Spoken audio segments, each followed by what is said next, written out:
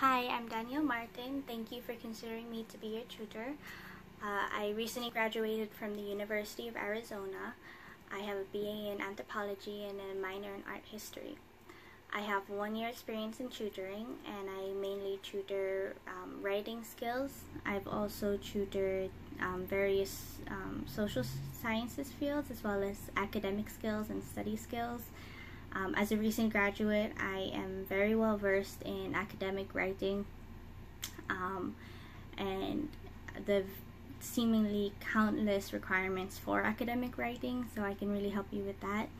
Um, my main goal for each session with a student is to help them figure out how to utilize the skills that they already have. Um, as well as strengthen their confidence in the skills they feel like that they're not very good at.